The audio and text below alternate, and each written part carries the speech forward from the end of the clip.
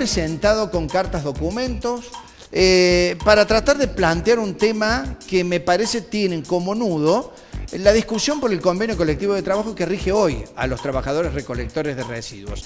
Eh, ¿Por qué la gente tiene que saber qué pasa con esto de que el basurero pasa, que no pasa? ¿Están de conflicto? ¿Qué, hay en el fondo de todo? Bueno, eh, la gente o los vecinos de la ciudad, los que uno representa, eh, tienen que conocer, digamos, qué relación hay con todas estas cuestiones que parecen jurídicas o que parecen por allí difíciles de entender, porque hasta a mí me ha costado estudiar los pliegos, los convenios, hasta darme cuenta realmente cuál era el problema.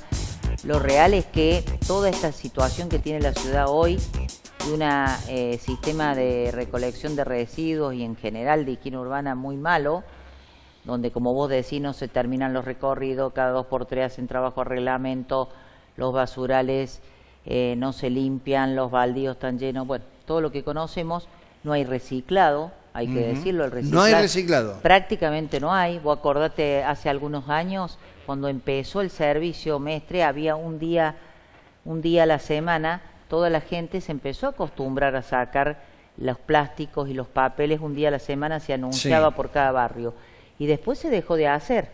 Eh, así que prácticamente no se recicla ni, ni el 1% de la ciudad de Córdoba, de, la basura que se, que se recoge. Todo esto tiene que ver con, con una situación eh, grave que existe eh, con el gremio, el SURBAC, el gremio que conduce Mauricio Sayen. Perdóname, es decir, el problema no son las empresas, sino los empleados o el sindicato que los representa. Empiezo por el sindicato, pero en realidad el sindicato no podría hacer todo lo que hace en perjuicio de los vecinos, que es no trabajar, no cumplir los horarios, eh, un montón de cosas, usar cosas que son eh, de propiedad de la municipalidad para uso propio, no podría hacer todas estas cosas si las empresas y la municipalidad tuvieran la autoridad que deben ejercer para controlarlos y para conducirlos, porque para eso se les paga a los empresarios y también a los funcionarios municipales. Está bien, pero me han comentado por allí que eh, ha llegado un punto de presión por parte del sindicato que parece haberle eh, doblado el brazo, torcido el brazo, la voluntad de quienes están tratando de prestar el servicio, de quienes en la municipalidad están tratando de guiar todo esto, y el SURBAC parece estar ganando la pulseada. Pero el, Surba gana la pulseada porque, te, vuelvo a decir, porque por acción o por omisión, las autoridades municipales como los empresarios no hacen lo que tienen que hacer. Concretamente, el Surba, que en el año 2014, después que, recordemos que cuando Mestre empezó su primera gestión en el 2011, decidió privatizar el servicio, se lo pasó a Lusa y Cotreco hasta que se hiciera la licitación. La licitación del 2013 fracasó y en el 2014 se firma un convenio con el Surbac, con Mauricio Sayen, en ese momento peleado con Moyano, que Moyano a su vez se había peleado con Cristina, son todos manejos lamentables del peronismo y en particular del kirchnerismo, que nunca le importó a la gente. Entonces, firman un convenio que firma la municipalidad de las empresas y ese convenio que rige hoy, Julio, y que vence este año, vence dentro de tres o cuatro meses, es un convenio por el cual nosotros pagamos entre el 20 y 30% más que lo que se le paga a los trabajadores recolectores de residuos en Rosario, en Mendoza, en Buenos Aires, que se les paga por otro convenio que es el convenio nacional. O sea, las autoridades municipales y las empresas le firmaron a Mauricio Sayen un convenio que es absolutamente leonino y contrario a los intereses de la ciudad. ¿Por qué? Porque tiene un montón de... Eh, eh, sobresueldos o de premios o no sé cómo llamarles que van más allá de lo que cobran. Es decir, eh, esto es, hace más oneroso eh, el salario de los trabajadores. Ahora, y ten en cuenta que en el servicio de recolección de residuos, en el servicio de recolección de residuos, el 70% es gasto en recursos humanos. Es decir, una vez que vos tenés la, la maquinaria y demás, lo que más costo te trae es el pagar los sueldos. Es decir, yo no discuto que un sindicato pueda pelear eh, por pagar el mejor salario para sus trabajadores. Me parece que es el trabajo en definitiva de los sindicatos. Ahora, eh, tenemos que preguntarnos si está bien pagar un salario y tanto premio, si es que el servicio no es bueno o no se cumple. Primero, el servicio no se cumple, no es bueno, pero además te quiero aclarar una cosa, bajo ningún punto de vista esta postura mía también la hemos compartido con el concejal Lozano, que hemos hecho la mayoría del PRO, que hemos hecho la mayoría de las presentaciones juntas, tiene que ver con ir en contra de los trabajadores, todo por el contrario. Yo creo que hoy en día la situación de la mayoría de los trabajadores, más allá de lo que ellos digan respecto al gremio, es casi una situación de dependencia, eh, porque vos has visto, eh, tienen, están obligados a pagar tarjetas de 4.000, 5.000 pesos a la fiesta, hasta hace poco debían comprarse los uniformes que decían Mauricio Sayen, hasta que yo por presión a la municipalidad los obligué a la municipalidad a que la municipalidad le dé los uniformes.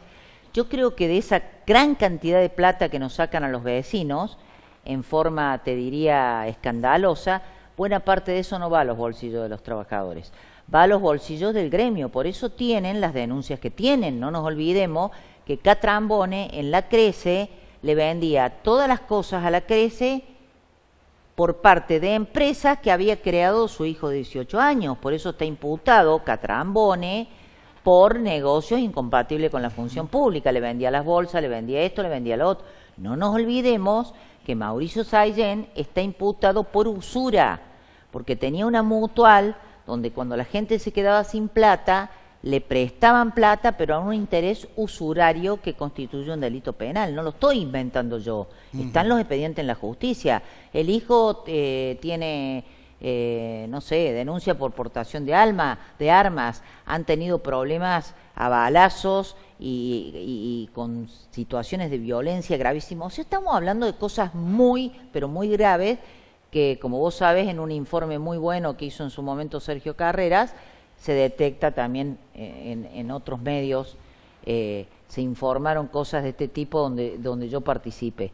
Entonces, estamos frente a una situación muy difícil, pero yo, que como vos sabés, soy parte de Cambiemos, fui en la lista de Juntos por Córdoba, participé del proyecto de, Mestre eh, poniendo en marcha los concursos públicos y abiertos, de, lo cual estoy orgullosa, porque habían entrado más de 300 personas por concurso y ese sistema se ha consolidado y creo que ha sido una obra muy importante en la municipalidad de la que yo fui autora principal, pero que Mestre me apoyó. También creo que Mestre ha hecho cosas excelentes como los parques educativos, pero el doctor Mestre sabe que mi límite siempre ha sido en mi vida política la corrupción, porque creo que la corrupción es el problema más grave que tenemos los argentinos. Por eso yo creo en este presidente, porque creo en su decisión de combatirla, en cualquier nivel, en cualquier nivel. Y en Córdoba, los números de la basura, si vos empezaste pagando en el 2012 37 millones a Lusa y Cotreco, 37 millones de pesos, y hoy estás pagando entre el ESIOP, Lusa y Cotreco casi 278 millones de pesos. O sea, tuviste un incremento de casi el 600%, en los costos y el servicio es malísimo porque si vos me decís, si vos me decís, yo incrementé costos, como él dijo, el ESIOP lo voy a crear, no sé si te acordás, el ente claro, el ente para que creó la municipalidad para sacarle a las empresas el barrio y que el ente este se encarga del barrio. Después vamos a hablar del famoso cartel. Pero ese ente, Mestre dijo, lo voy a crear porque los entes no pagan IVA y con esto voy a ahorrar dinero, pero no fue así. Lejos se paga cada vez más. Se paga cada vez más. El vencimiento del convenio. Sí, esto, esto porque es importante para que le expliquemos a, los vecinos que son, a todos los vecinos y a todos nosotros que somos los que pagamos los impuestos y los que le pagan al Surbac y a todo, que pagan todo el servicio. Porque la licitación nueva que fue adjudicada a tres empresas, Lusa, Coteco, Dos de las que están actualmente y, Vega y Caputo, que intentaron al principio dejarla afuera justamente porque esa empresa viene con otro convenio que es más barato, tiene que es el convenio nacional. Esas empresas empiezan a actuar en octubre.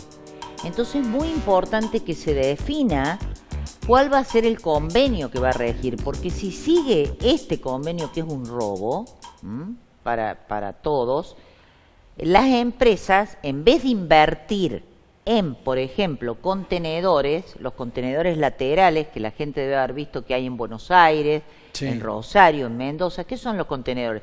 Eso que se ponen en cada cuadra, en cada esquina y que no se tira la basura afuera, permite que los trabajadores trabajen dignamente porque no tienen que andar corriendo atrás de un camión, lo que es absolutamente feudal. Por eso te digo que Sayen, lo menos que le interesa a Sayen y a Catrambón es defender a los trabajadores.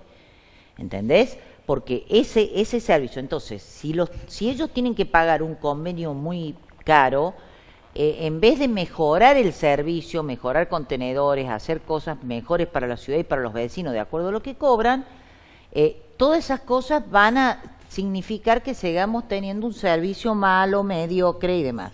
Por eso es el momento de dar la pelea y explicarle a la gente que esto no es denunciar por denunciar, esto tiene una relación directa con lo que le pasa a cada vecino que le da mucha bronca cuando sale, no le recogen la basura, a la gente que, como hemos recorrido muchos barrios, dijo yo me gustaba sacar la bolsa con el plástico porque sé que es importante y después dejaron de pasar, ¿entendés? Eh, Laura, en el marco de todo esto eh, dijiste y argumentaste la creación de este ente de servicios especiales para el barrio de limpieza en el ámbito de la Municipalidad de Córdoba. Eh, argumentaste que el intendente en algún momento dijo que esto le iba a salir, porque no pagaba el IVA, le iba a salir más barato. por eso me da bronca, porque yo lo voté. ¿Por qué sale más caro hoy? Y hoy sale más caro porque en realidad el, que conduce este ente, que es César Ferreira, y no me acuerdo el nombre del otro directivo, eh, eran tres, ahora son dos, eh, prácticamente le ha entregado el manejo del ESIOP al Surbac. Entonces el Surbac tiene un botín allí, donde nombra a la gente que quiere, echa a la gente que quiere. Pero ellos son los que manejan, ellos, toman decisiones. Ellos manejan todo, ellos manejan todo. Hasta liquidan los sueldos, hasta definen y toman y controlan quién va a trabajar o no. Eh, estoy absolutamente segura por información que me ha dado gente de adentro, por trabajadores que fueron echados por ellos mismos, de que eh, van a trabajar una parte de los trabajadores y los otros van a hacer tareas en distintos lugares que les sirven al Surbac, o van a la cancha, viste que llevan los camiones, porque esta gente del Surbac ha comprado clubes de fútbol, eh, bueno, toda la, camiseta, toda la cosa, tienen su propio equipo, y bueno, cuando tienen que llevar hinchadas a la cancha y le toca a esa persona trabajar, en vez de ir a trabajar va a, tocar el bombo en la cancha. O sea, esto, lo que pasó con el cártel, en el predio del, del ESIOP, del ente que está encargado del barrido de las calles, y la gente, si la gente me escucha y uno pudiera hablar, la gente debe decir, pero ¿qué, qué barrido si a mí hace meses que no pasan por, el, por mi calle, no barren? Bueno, ese ente que está en el Parque Sarmiento tenía un cartel que decía Mauricio en Conducción. Ninguna, ninguna eh, ente o local o establecimiento del municipio puede llevar el nombre ni de un partido, ni de un candidato político, ni de un partido, ni hacer proselitismo, porque desde cualquier edificio de la municipalidad es tuyo, mío y de toda la gente. Por eso yo le dije al intendente, a través del consejo, saquen ese cartel, saquen ese cartel porque eso va en contra de la ordenanza municipal, de la carta orgánica, en contra del, del código de ética. César Ferreira no lo sacó al cartel. No lo sacó al cartel porque César Ferreira es un títere de Sayen y Catrambone. Está ahí puesto de adorno este señor. Y si no, que me lo venga a desmentir. Porque no me han desmentido ninguna de las cosas. Y un día me habla un periodista a mí y me dice, ¿qué vas a hacer con el cartel, Laura? Y bueno, vamos a seguir peleando para que lo saquen. No, dice, ya lo sacaron al cartel. Ah, ya lo sacaron, qué bueno. No, dice, porque subieron otro que dice Laura Sesma. Pero ¿cómo que dice Laura Bautizando De eh, manera... Bautizando de manera burlona, irónica y con un mensaje, viste, eh, realmente como amenazando y diciendo, acá mandamos nosotros, Laura Sema. No vengas a pedir que nos saquen el cárter porque mandamos nosotros. Cinco días, cinco días o más de seis días tuvo ese cartel que decía Laura Sesma hasta que César Ferreira se decidió a sacarlo en un ente que es municipal, porque en ese momento Lozano también presentó un proyecto diciendo que sacaran el cartel. Ahora, si vos has leído las últimas noticias, dicen que van a poner un cartel que se va a llamar, eh, creo que Don Chicho, porque es un barrendero famoso. Entonces, esto ya es si no fuera trágico, porque los impuestos que pagamos son altos, porque lo que cobran es altísimo, porque estamos hablando de una mafia que maneja todo el servicio, con la complicidad de funcionarios, vuelvo a decirlo, y de empresarios por acción o omisión, si no fuera trágico sería muy cómico, ¿me entendés? Que en un lugar municipal vengan los empleados que dependen de vos a poner y subir y bajar carteles. Es una cosa absolutamente ridícula. Bien, eh, Laura, eh, esta circunstancia, vos decís, tiene como nudo central la cuestión del convenio colectivo de trabajo que vence en poco tiempo. Vos lo que le estás reclamando a las autoridades municipales es que, denuncien, que, denuncien este convenio como se hace habitualmente y que con ese paso previo en el Ministerio de Trabajo se puedan sentar a negociar el convenio de camioneros, que era Bueno, en realidad acá tenés dos alternativas, o el convenio nacional, que es el convenio 489 que rige desde hace muchos años, o bueno, o renegociar un convenio que sea más favorable para la ciudad que el de camioneros, porque eh, acá todos tienen que poner su parte, ¿me entendés? Y vuelvo a decirlo, esto no va en contra de que los trabajadores que están en este servicio, que es imprescindible, que deben cuidar su salud, ganen lo que tengan que ganar, pero eso no le importa a Sayen. A Sayen le importa engordar, eh, digamos, los bienes, y las cosas del gremio y demás que después no puede justificar, porque no puede justificar lo que hacen. Entonces, lo que yo digo es que tiene que haber transparencia. Y otra cosa te voy a decir, el ESIOP, además, ahora está a cargo del enterramiento, también, de la basura que antes la tenía la Crece, porque la Crece ahora es una especie de empresa fantasma que teóricamente tiene que desaparecer cuando eh, se le den, eh, se le hagan los contratos, se hagan los contratos con las empresas que han ganado la licitación. Sin embargo, se ha dedicado a contratar monotributistas y gente bajo cuerda que después la pasan a planta permanente de lesión. Porque además te tengo que decir que cuando Mestre pasó el servicio a Luce Cótrico, estábamos hablando de 1.836 aproximadamente trabajadores y hoy tenemos casi 2.200, con un servicio peor. Entonces, la verdad que es muy grave.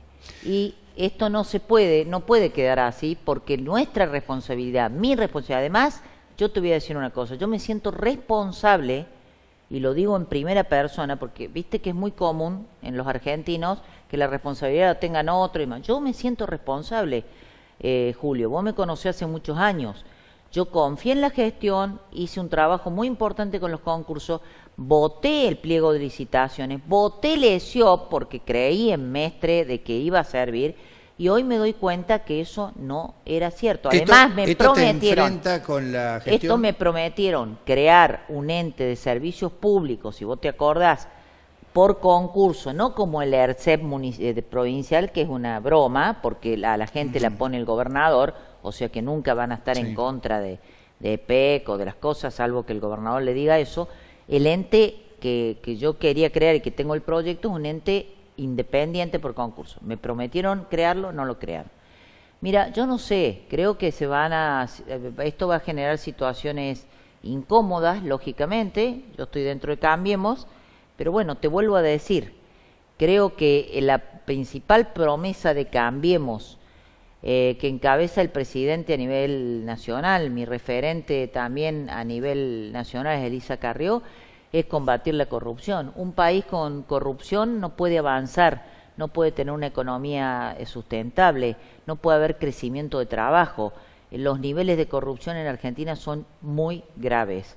Eh, hay corrupción en todo el mundo, hay corrupción en Brasil, pero hoy vos en Brasil tenés preso al propio Lula una persona con un liderazgo fuertísimo y lo tenés preso porque le encontraron que le dieron un departamento supuestamente como coima aprobado en la, un departamento. Si eso lo comparamos con lo que pasa en Argentina, pero bueno, creo, creo que mi función es decir, me equivoqué cuando voté esto, porque además creí que iba a ser así, y mi responsabilidad ahora que veo que están usando mal las cosas es denunciarlas, y eso es lo que estoy haciendo.